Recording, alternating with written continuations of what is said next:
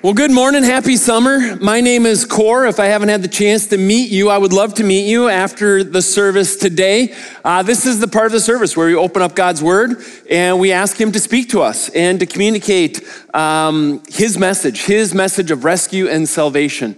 And it is different than the world's messaging. It is contrary. It, it might feel upside down. And so uh, it, it's important for us, I think, to, to sit before the Lord and just humbly ask God, speak. God, show us. Show us where you are distinct from, unique compared to the philosophies and teachings of the world, the, the ways that the world says, you need salvation, you need rescue. Here's how you can help yourself. Jesus, help us to see your word and your cross and your message. I want to set up today's message by referencing one of my favorite movies. It's on my top 10 movie list. Every family has a top 10 movie list. Do you guys keep that in your father in law's breast pocket right here? He keeps it on his person. Everybody's top 10 movie list. Uh, and on my top 10 movie list is Moneyball. Great great baseball film here. Kind of going back to the Oakland A's. Uh, we ended up beating, the Twins ended up beating them in the playoffs that year. But uh, kind of the sabermetrics, the, the game is changing. And in this particular scene, what's being contrasted is kind of the old way of things versus the new way of things.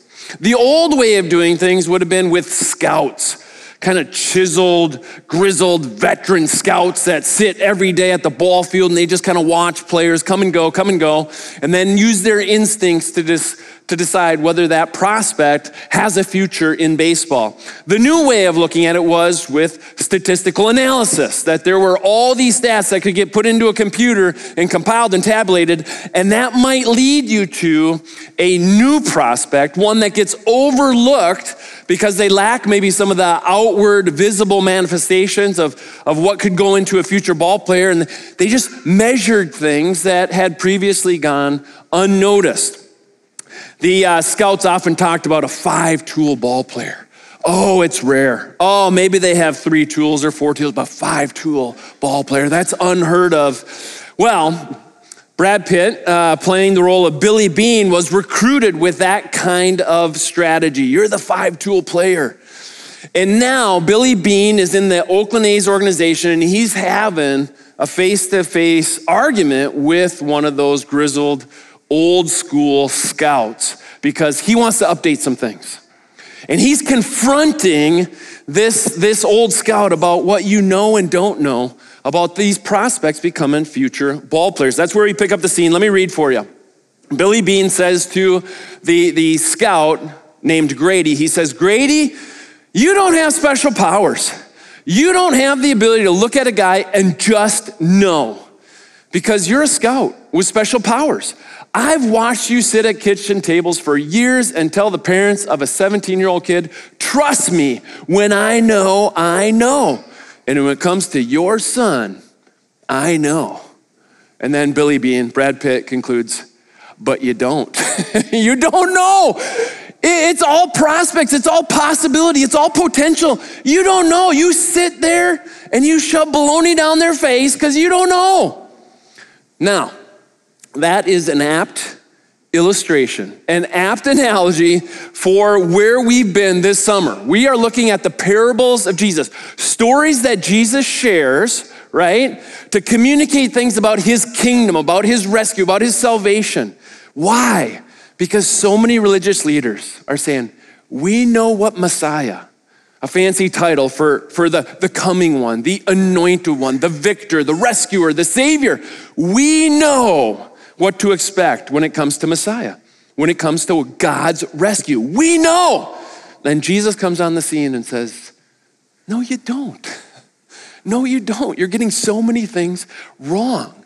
But he doesn't just outright teach and direct. Many times he uses parables, he uses stories to try to draw them in, to explore their ways of thinking and feeling, how they've conceived a Messiah versus the things of God that Jesus is saying, let me, let me throw a curveball at you because you're maybe not expecting this kind of rescue or this kind of salvation or this kind of Messiah. And so these aren't just stories, they're stories that come with Jesus illuminating the ways of God, the kingdom of heaven, the kingdom of God, God's work of rescue. It might be said. You could maybe put it this way that on account of these parables, Jesus might say to the religious leaders of his day, You don't have special powers, religious leaders. You don't have the ability to look at a guy and just know because you're a religious leader with special powers. I've watched you sit at kitchen tables for years and tell the parents of a 17 year old kid, Trust me when I know, I know. And when it comes to the Messiah, I know. And Jesus says, But you don't. But you don't. So let me illuminate with these parables, with these stories. So, with that, let me read our, our, uh, our parable for this morning, actually, two, and then I'll give you an outline of kind of where we're going with the rest of our time. So, this comes from Matthew chapter 13. The, the text will be on the screen as it is each week. For, for sure, you can open up your own own Bible. If you got, if you, anybody bring a paper Bible to church this? Oh my gosh! Oh my God! Wow! Look at that! Wow! Oh! I should have had something special for you guys, just like some sort of reward or something. Wow. I was expecting two, and I got like six. That's like three times more than I was expecting. All right, let me read from Matthew 13. Jesus put another parable before them, saying, The kingdom of heaven is like a grain of mustard seed that a man took and sowed in his field. It is the smallest of all seeds, but when it is grown, it is larger than all the garden plants and becomes a tree, so that the birds of the air come and make nests in its branches. He told them another parable. The kingdom of heaven is like leaven that a woman took and hid in three measures of flour till it was all leavened. All these things Jesus said to the crowds in parables. Indeed, he said nothing to them without a parable. This was to fill, fulfill what was spoken by the prophet I will open my mouth in parables, I will utter what has been hidden since the foundation of the world. So that there it is. That's what we're going to kind of work through this morning. A little bit of where we're going. First part is just let's look at this kind of mustard seed and leaven parable, this story. Because he says the kingdom of heaven is like. It, the kingdom of heaven is not a mustard seed. It's like it, though, in some fashion. And so we need to just pause and say, how so, right? The kingdom of heaven is not leaven, but it's like leaven in some, in some ways. And so we have to just kind of look at that first. Then we're just going to identify and address this kind of these last two verses in our passage, this hiddenness piece Jesus is going to speak in parables. Yes, it was forecasted, it was promised by the prophets that, that this would happen. And so, in one way, Jesus is fulfilling that promise. But we have to ask the question like, why? Why, why do it that way? Not, why not be more explicit? So, we're going to look at that. And then we're just going to kind of ask and answer the question how do these parables speak Jesus, speak kingdom of heaven to us here, now, today? And I think it's really important for us to, at that point, just say, Lord, what do you, what do you have for me? Because it, it's fascinating. The number of times I stand down front and people are like, oh my goodness, that sermon was so great. It landed so specifically with me in this way. And then I'm like, can you tell me more? And they kind of talk about how the sermon hit them. And I, I didn't share any of that, right? So it's, it's like it's like Jesus is present here. Jesus wants to communicate some things to you, tailor some things for you. And so we want to just in that last part, just say, Jesus, will you speak? Will you identify ways that you want to unfold this into my life? So that's what we're going to do this morning. Let's go back uh, and re examine the, the mustard seed and the leaven. So Jesus puts a parable before them saying, The kingdom of heaven is like a grain of mustard seed that a man took and sowed in his field. It is the smallest of all seeds but when it is grown, it is larger than all the garden plants and becomes a tree, so that the birds of the air come and make nests in its branches. Okay, so I'm going to leave aside a lot of what commentators postulate and speculate about what this might mean. The mustard seed is this, the branches are this, the birds are this group of people, all right? Let, let's not speculate. Let's just let's just pause, identify a couple things that we can know with a high degree of certainty. One is uh, it's it the, this mustard seed, this this grain of a mustard seed. It it is small. Uh, it, it, in some ways it's, it's quite small, but it's not the smallest. Like there, there are examples, we could find them of, of smaller seeds and, and maybe even smaller seeds that they would have widely known are smaller than this. And, and it's actually not the largest tree that could come about. So, so it's an interesting kind of parable and story that Jesus would put this forward when it's, it's not dramatically exceptional. It's not like, whoa, the kingdom of heaven is like this giant redwood, this giant cedar of Lebanon, this amazing tree. We're going to build this massive tree fort. And it's like, no, it's just, it's just like a, you know, at full maturity, it's like a eight to 12 foot giant shrub thing. And you're just like, what? Like that's, that is the part that seemingly should catch us by surprise. That the kingdom of heaven is like this kind of plant, this kind of shrub. And so it's like, okay, it's not the smallest or biggest, it's not exceptional in that sense. But what it can do when full grown is provide shelter, provide nest, provide an opportunity, a place for dwelling of the birds. A lot of people speculate what that could mean, might mean. We're just told that the kingdom of heaven kind of operates in this fashion. Of all the commentators I read, Craig Blomberg, I think, uh, maybe says it best. He says, even large mustard bushes pale in comparison with the lofty cedar. Still, Jesus may be employing deliberate irony. What may not look like much to the world will, in fact, fulfill all God's promises. Jesus fulfilling God's promises. Entire Old Testament full of a lot of God's promises for provision, for dwelling, for safety, for rescue. And that's what it looks like? I want a giant fortress, right? I, I want something dramatic, exceptional. And that's not what's provided.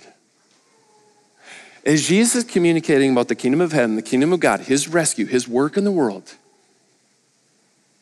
he chooses an example of a mustard seed that, in its full grown, mature capacity, is not altogether exceptional or striking. All that compelling. Something so dramatic as to really remove all need for any kind of faith. no, no, no, it's not, it's not going to be like that. And yet, most assuredly, it will fulfill God's promises. It caused me to think back to some examples, even in the Old Testament. If you remember, there was a time where, where God was bringing forth a judgment, and, and yet it was communicated. If you, just, if you just take this blood from this lamb and kind of paint it on the threshold and the doorpost of your door, you will be rescued. To which you and I might think, like, that, that's it? That, that little act of faith of, of taking this and doing that, that, that's sufficient? That's enough? To provide for my needs, to, to provide safety and rescue from the judgment that is coming? Yeah. Do you trust God? Do you believe Him when He says this is sufficient, this is enough to meet your need, to bring forth rescue and protection and provision? Do you believe that? What about when blood is shed in a different light, in a different capacity, when the blood is shed at the cross, a criminal's cross? Those who are looked down upon in society, those who are deemed thieves, and therefore they are killed.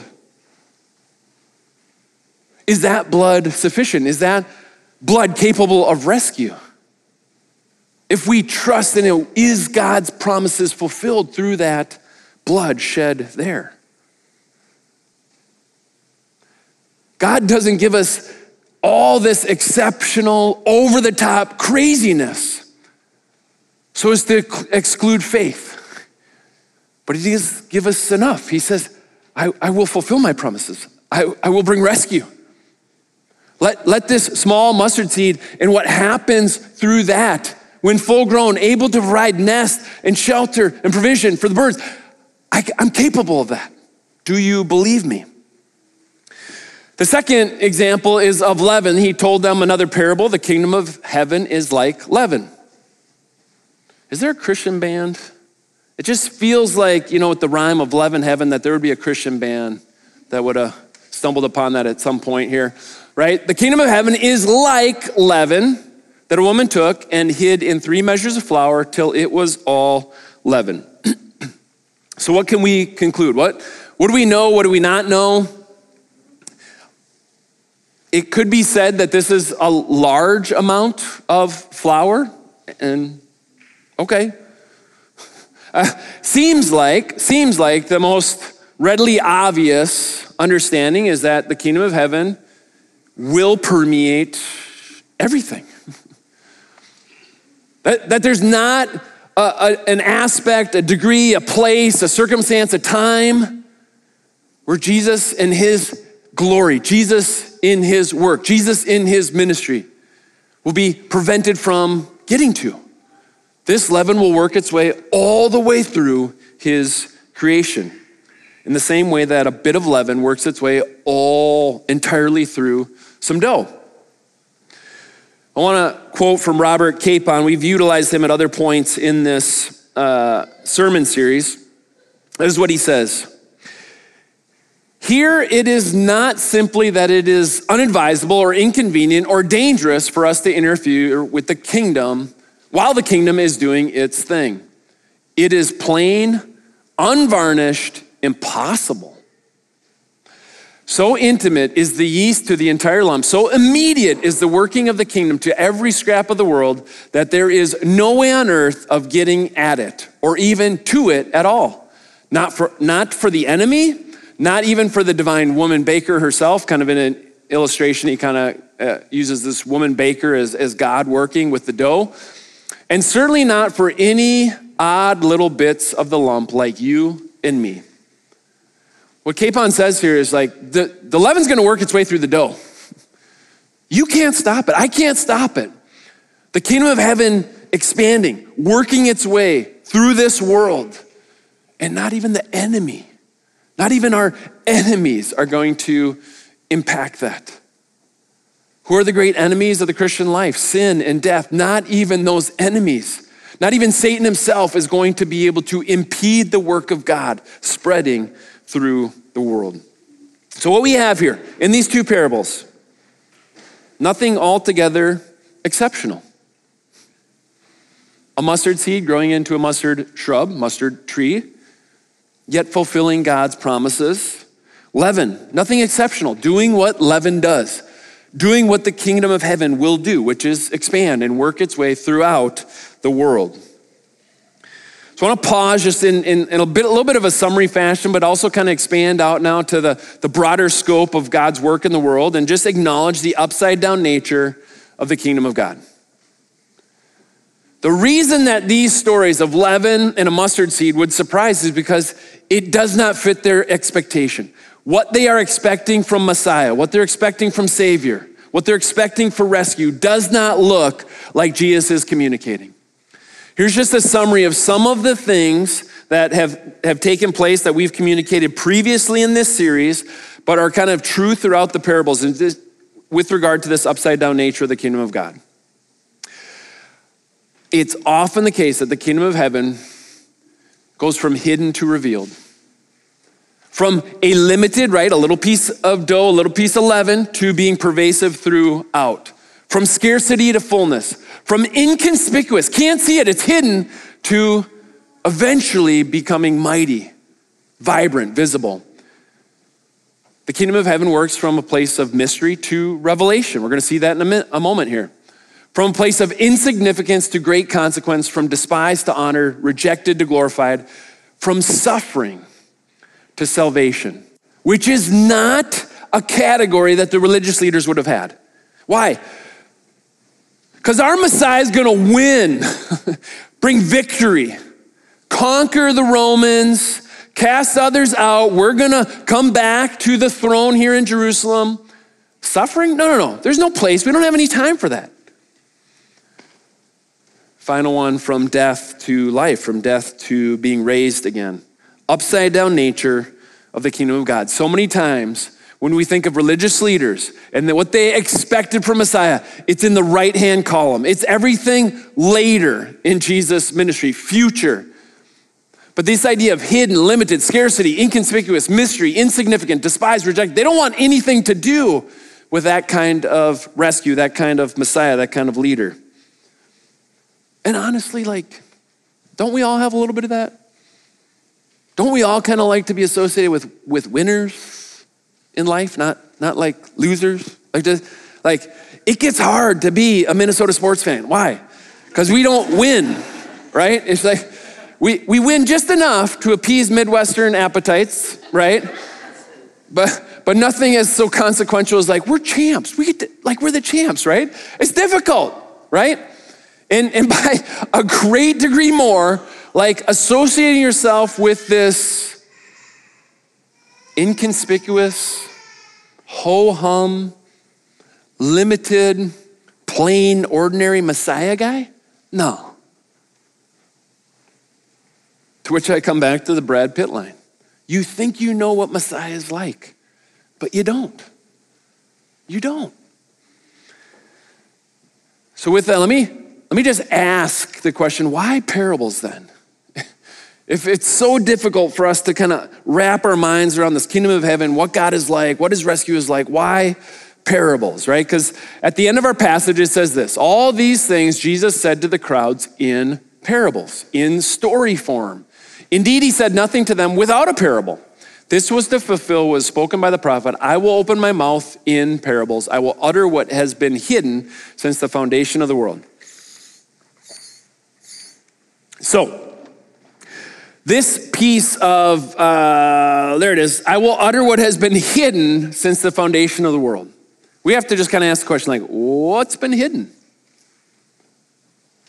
What's been hidden that is ultimately going to be revealed? What is the hidden thing within God's economy, within these parables, that is eventually going to be revealed? And in our New Testament, in our Bibles, it's very clearly God will make his rescue plan known. It, the prophets and other people wanted to know the details of that rescue plan, but it was only something that came forth in time. Even those in Jesus' age, even those in Jesus' inner circle were confused by these things. How are you going to do this? You say these things, but it doesn't compute, it doesn't click. It's not clear to us how you're actually going to bring forth this rescue. How are you going to save us if it's not by power, by might, by conquering the Romans? So, Jesus uses parables to start to explain these things. Look what it says in Luke 10, verse 21. In that same hour, Jesus rejoiced in the Holy Spirit and said, I thank you, Father Lord of heaven and earth, that you have hidden these things from the wise and understanding and revealed them to little children. Yes, Father, for such was your gracious will. Why parables? Why stories? Because they are accessible for those with ears to hear, hearts that are open to receive what God is saying. Children can access this. Even while the wise, the learned, the prominent miss it. Isn't that fascinating? If you speak of glory and grandeur, that's going to draw a certain group of people. And Jesus says, I, I, actually, actually, that's not why I'm here. I want to I want to come and make myself accessible to all. And through stories, he says, you, you don't have to know all the deep theology.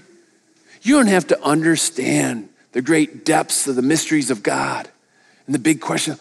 But, but I'm going to share a story that's accessible for all. Even young children can understand these things. Kind of reminds me, we've uh, done a number of escape rooms. My son's made a number of escape rooms. And it's interesting that, that some children are more adept at figuring some of these things out than the adults in the room. In fact, the adults actually complicate things, overcomplicate things. They're like bringing things in. It's like, wasn't there something about the Byzantines that, and you're like, what is that, right? My sister in law actually put together uh, a, a, an entire uh, periodic table. She assumed we just need to know the atomic weight, the atomic, like the number, and I'm gonna figure it out. It's like, no, no, no, no, no. You shouldn't assume that people can figure all that out. In an escape room, in a darkened escape room, they give you a periodic table. They're going to give you a little bit more. And she was over there just figuring out, and she did figure it out, but that shouldn't be assumed. Why? Because we all don't know the numbers in the periodic table. We need a little bit more help, right? And just, it's this piece of like, is the kingdom of heaven accessible? Or is it so beyond us that we have to have this just immense knowledge of all? No, no, no. Can, can you see this and understand these things of rescue, of salvation, of God working in the world on your behalf? Another example of this, uh, if you just move forward in the story, Jesus is actually being more explicit towards the end of his days as he's approaching the cross, and he shares pretty explicitly with his disciples about what's to come. This is what he says. Taking the 12, he said to them, See, we are going up to Jerusalem, and everything that is written about the Son of Man by the prophets will be accomplished. For he will be delivered over to the Gentiles, and will be mocked and shamefully treated and spit upon. And after flogging him, they will kill him, and on the third day he will rise. But they understood none of these things. This saying was hidden from them, and they did not grasp what was said. Even as Jesus continued to be more explicit about how his rescue is going to come together, it's still lost on them. Why? It just so defies their expectations of what rescue and salvation are going to look like. They want to be triumphant. They've associated themselves with Jesus at great risk. And it's like, now's our time, right? And he's like, yeah, now's our time. I'm going to go die. What? These things were hidden from them. Ultimately, even after Jesus dies and is raised, he's communicating to a couple guys as they walk along the road. He said to them, O foolish ones, and slow of heart to believe all that the prophets have spoken. Was it not necessary that Christ should suffer these things and enter into his glory? And beginning with Moses and all the prophets, he interpreted to them in all the scriptures the things concerning himself. That suffering and even death are not outside of God's rescue plan, but actually they are central to this victory, to this rescue, to this salvation. So it is that Jesus dies, bringing forth this great salvation, and in that, parables end. I think that's really important for us to know. Parables end when Jesus goes to the cross. What was spoken of in story form, in obscurity, we are now given the cross. We are now given Jesus' suffering, his death, his resurrection to see things with greater clarity, greater understanding. So it's this in this fashion, right? That do we know? What do we know? We know Jesus' death and resurrection is the glasses that we can see through, look through. It's the LASIK. I got LASIK. LASIK, LASIK, life changing, right? Jesus' death and resurrection are the great LASIK that allows us to see clearly, okay? We thought we could see clearly. Why? Because I want big, demonstrative, very clear demonstrations that God's powerful. And then Jesus comes in weakness. And now we take that death and resurrection, we go, oh my goodness. Even in weakness, he shows his strength. Even in death, he shows his victory. Even in his suffering, he brings forth rescue and salvation. So I want to just ask now and answer the question in our remaining time how, how do these things speak to us in our everyday life? I, I'm going to share five things. If you already have something, that's great. That's God. That's between you and Jesus, and He's sharing stuff. That's awesome. Here's five things that you could consider in light of these parables. How do these parables speak Christ, speak Jesus to us in our everyday life? First one be okay not knowing all the things. Like, be okay. Like, be at ease, be at rest, not knowing all the things. Like, Think through the last week or the last month or the last year how consumed you and I have been because we don't know all the things. Don't you have questions when it comes to the leaven and the, the mustard seed? Like, well, what about this? What, is the mustard seed my faith? Faith in my community? Is, the leaven bad, good? Is it, is, it, is it about my trust in the leaven working? You know, like, there's all these questions. Like, no, no, no, no. Don't go there. Just be okay not knowing all the things. And some of you are deep in theology. You read the books, you read the commentaries, you want to know all the things. Or some of you are consumed with knowing the future, what's going to come next week, next month, next year. Are you okay not knowing all the things? And that Jesus' death and resurrection is sufficient, is enough. Are you okay not knowing all the things? I want to quote from a guy who experienced Jesus' touch, his healing. Blind from birth, and Jesus heals him. And the religious leaders got a problem with that. And so they follow up with the guy.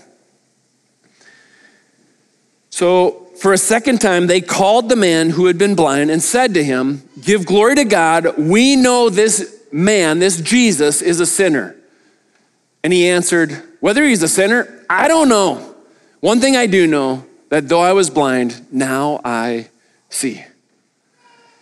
I, I don't know all your religious tricks and quizzes. I don't know what tests he has to pass. I don't know what qualifies as an appropriate Messiah, as a good enough Messiah, as a victor, as a savior. I don't know any of that. I was blind, and now I see.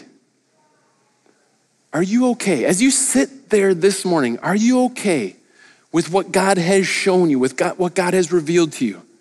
He stopped speaking in parables because he's given us the cross, he's given us his resurrection. That's the hinge point of human history. That's the most consequential reality.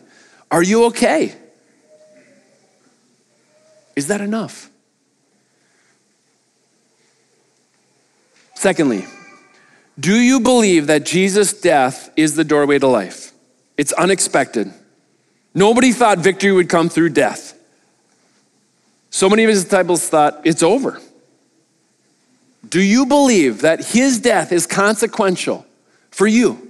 that that bloodshed for you results in you experiencing life, resurrection. Not just, not just a change in behavior, not even a change in belief, but, but truly a transformation that you were dead and then Jesus makes you alive. This idea of the, the seed becoming something else, being transformed, Jesus actually uses that regarding his death and his rescue. He says in John 12, the hour has come for the Son of Man to be glorified. Truly, truly, I say to you, unless a grain of wheat falls into the earth and dies, it remains alone. But if it dies, it bears much fruit. Jesus' death being the thing that dies and brings forth much fruit. It is upside down, it's unexpected, but do you believe this? That his death is the most consequential reality, not your work, not your faith not your spiritual habits, not your church attendance, not your small group participation, not the compassion you have for the people in your life or the acts of service. All of that might be worthwhile. But ultimately, this is the most consequential reality that a seed fell, that a seed died, that a seed was buried and brought forth great fruit. Do you see how the onus is not on you and me then? It's not on our present work, our present actions, our present robust faith. I have just tremendous faith. I'm going to move mountains today. No, no. Jesus moved the mountain of sin and death. He cast it in the sea and he brings forth life. John Calvin says, uh, John Calvin's an old dead guy that says this by these parables, that's all. Just ref, that's you can refer to me someday in that way. Just this old dead guy uh, said this one time. By these parables, Christ encourages his disciples not to be offended and turn back on account of the humble beginnings of the gospel. We see how haughtily profane men despise the gospel and even turn it into ridicule because it is not instantly received with applause by the whole world. And because the few disciples whom it does obtain are, for the most part, people of no weight or consideration, and belong to the common people. The Lord opens his reign with a feeble and despicable, and he kind of in, in air quotes there, feeble and despicable commencement for the express purpose that his power may be more fully illustrated by its unexpected progress. Do you hear what he's saying? That those in this room that have trusted in Christ are of no weight or consideration. He's being offensive towards you, and yet it is where we need to be. That's our posture of humility and saying, if it weren't for God, if it weren't for what Jesus did,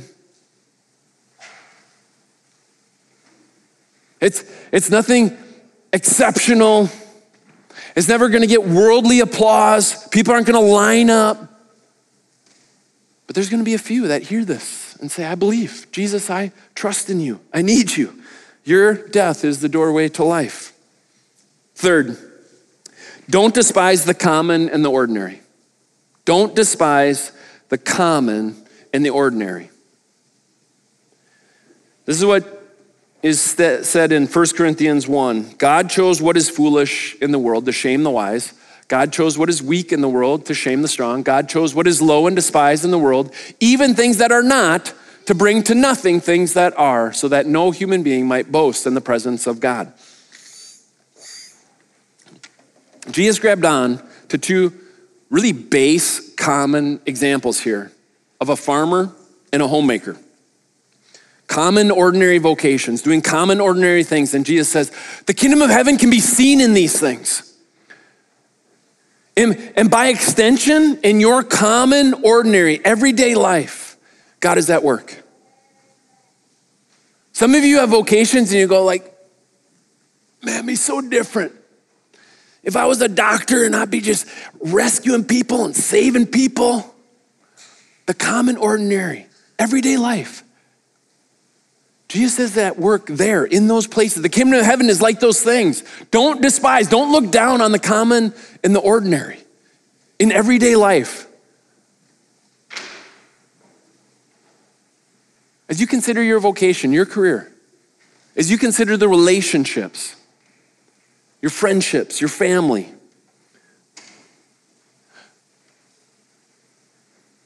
are you tempted to believe that God's not there, that He's absent? He only shows up in the flashy, in the special events. Like, no, no, no, the common, the ordinary, the everyday. Jesus is at work there. It's not about the wisdom, it's not about the strength, it's not about the flashy of the world. For don't despise the unseen and the slow. The examples he gave were of unseen things happening in the deep recesses of heart and mind and life, deep within.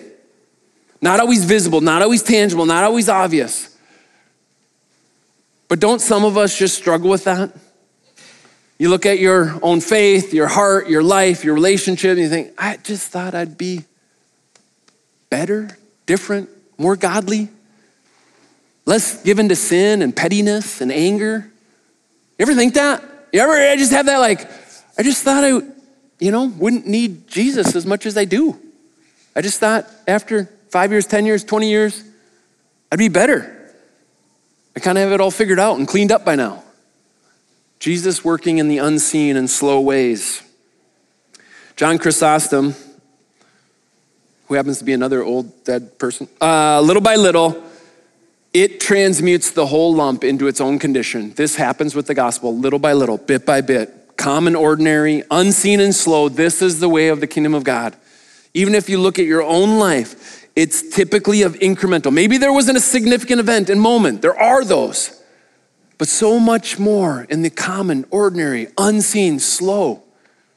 The gospel is not flashy, but it is pervasive and it will prevail, slow, bit by bit, day after day, drip, drip, drip, drip. One more. How do these parables speak Christ to us? Be okay not knowing all the things. Believe Jesus' death is the doorway to life. Don't despise the common, the ordinary, the unseen, and the slow. And finally, await God's future fullness. Await God's future fullness. It says in Habakkuk 2:14, "For the earth will be filled with the knowledge of the glory of the Lord as the water covers the sea." It is a certainty. It is unavoidable. It will happen. The whole world one day will know God in his fullness, in his presence. And until that time comes, we wait. Now, if you add up all the verbs that I just gave to you, right? What are you to do? What are you to walk out here and pastor says, I gotta, I gotta do these things. Be okay not knowing.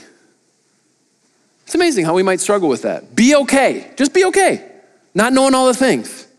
And how much that a struggle that is for us to just not know.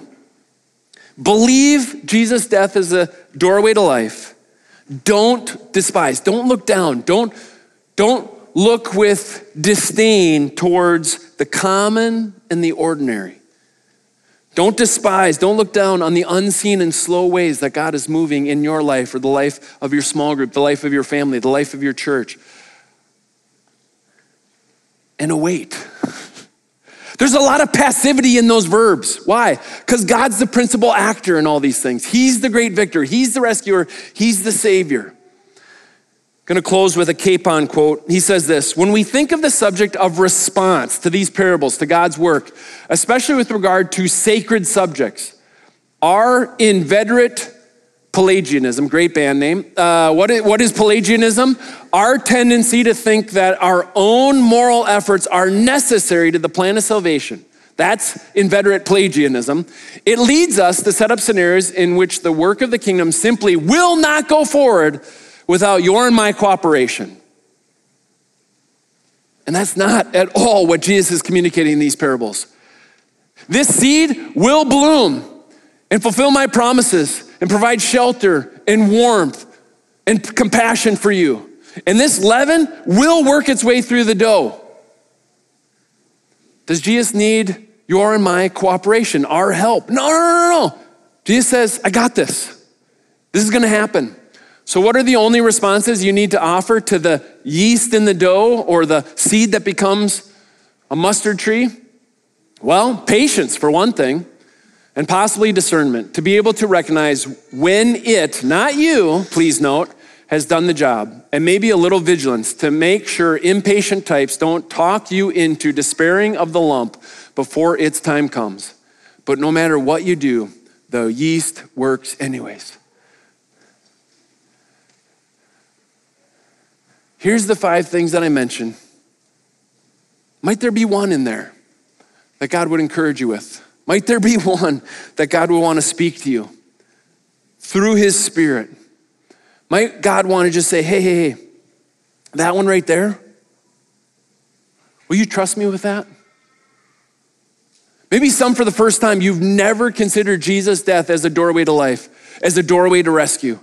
You believe it's come through vocation or money or career or stuff or things. Will you trust in Christ? And maybe be okay not knowing all the things. In humility, not knowing all the ways that God wants to work in the world, all the answers to the questions of life, to the whys and wherefores of your life, of your specifics. This is the upside down nature of the kingdom of God. Just a little. Just, just a little bit of trust, a little bit of faith in this rescue, in this salvation. God says, that's enough. I can use that. Believe in me, trust in me in these things. We have clarity, not on account of us knowing all the things, but on account of his death and resurrection. He is certainly going to bring forth fulfillment of his promises. Do you believe that this morning? We have the chance to sing a couple songs of worship to be prayed and to pray and to be prayed for, to give if you want to give to boxes in the back or online, to take communion. This little cracker, this little juice, reflecting Jesus' blood, his rescue. Do you believe that? Do you trust that he is able, through his body broken and his blood shed, to save you? It is upside down. It is contrary to the world's teachings and different philosophies which says you must achieve, you must do, you must accomplish the goals you set forth in life. Rather, Jesus says, Are you okay enough with this? Might not look like much, but I'm saving the world through these things. Do you believe that? If you believe that, you can come take communion. You don't have to be a member of our church or any church. If you want to be prayed for, we would love to pray for you. Anything going on in your life, big, small, Common, ordinary, seen, unseen, doesn't matter. Anything and everything, God takes concern over in your life. I want to invite the worship team forward. I'm going to close this in a word of prayer here, but we can keep praying. We're going to keep worshiping, keep looking to God and his victory at the cross for us. For all the things we don't know, that death, that resurrection is certain, and it is mighty to save. Let's pray together. Jesus, thanks. Thanks for gathering us as a church to be reminded of these things. These are things that I need to hear, uh, we need to hear this morning. That ultimately it's not the flashy, the strong, the most intellectual, the richest that usher in your kingdom. Admittedly, God, we might not know all these things. We might not know all the answers.